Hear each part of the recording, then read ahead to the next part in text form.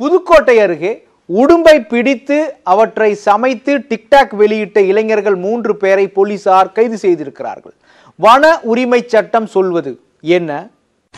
ஊரடங்கு காலத்தில் வீடடங்கி இருக்காமல் காட்டில் உடும்புகளை வேட்டையாடிய இளைஞர்கள் போலீசாரிடம் சிக்கி உள்ளனர் உடும்பு வேட்டைக்காரர்கள் சிக்கியது எப்படி? புதுக்கோட்டை மாவட்டம் கரம்பக்குடி அருகே உள்ள காட்டான் விடுதி கிராமத்தை சேர்ந்தவர்கள் ரமேஷ் பிரபு சூரி.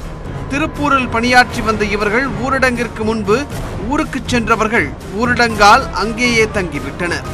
ஊரடங்கு காலத்தில் இவர்களால் வீட்டில் இருக்க முடியவில்லை. இரண்டு வாரங்களுக்கு முன்பு பக்கத்து காட்டிற்கு சென்று உடும்புகளை வேட்டையாடி சமைத்து சாப்பிட்டுள்ளனர்.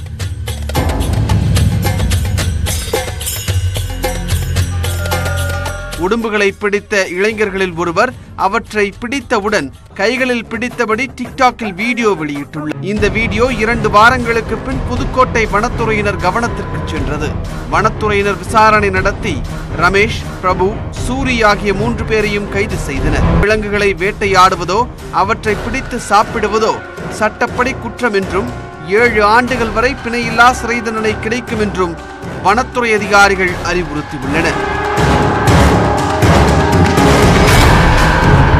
எவ்வளோ நாங்களும் இந்த மாதிரி கேஸ் சொல்லி பிடிச்சிருக்கோம் இந்த மாதிரி எதெல்லாம் பண்ணக்கூடாது செய்யக்கூடாதுன்னு சொல்லிட்டே தான் இருக்குது ரெகுலராக பட் மக்கள் மத்தியில் வந்து அவேர்னஸ் இருக்கா இல்லைன்னு தெரியல வேணுமென செய்கிறாங்களோ தெரியல. நிறைய இந்த மாதிரி வந்து ரெகுலராக வந்துட்டு ஷெடியூல் ஒன்றை பொறுத்த வரைக்கும் பார்த்தீங்கன்னாக்கா நீங்கள் வந்து பெயிலே கிடையாது.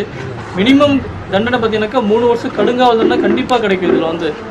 நிரூபி ஏன்னா குற்றம் வந்து நிரூபிக்கப்படுறதுனால வந்து இப்போ குறைந்தபட்சம் மூணுலேருந்து ஏழு வருஷம் வரைக்கும் கடுங்காவல் தண்டனை கிடைக்கும் இது கன்ஃபார்ம் ஆச்சுன்னா அவனுடைய லைஃபும் சரி ஃபியூச்சரும் சரி முழுமையாக வந்து வீணாக போயிடுது.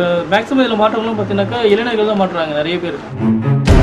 ஏப்ரல் மாதத்தில் மணப்பாறை அடுத்த சோழையம்மாப்பட்டி கிராமத்தை சேர்ந்த இளைஞர்கள் உடும்புகளை வேட்டையாடி அவற்றை பிரியாணி சமைத்து சாப்பிட்டனர். அதை வீடியோவாக எடுத்து டிக்டாக்கிலும் வெளியிட்டதால் கைது நடவடிக்கைக்கு ஆளாகினர். கிராமங்களில் இளைஞர்கள் ஊரடங்கினை நல்வாய்ப்பாக பயன்படுத்தி உருப்படியான வேலைகளில் ஈடுபட்டால் இதுபோன்ற சிக்கல்களில் மாட்டிக்கொண்டு விழிக்க வேண்டி வராது என்று போலீசார் அறிவுறுத்தியுள்ளனர்.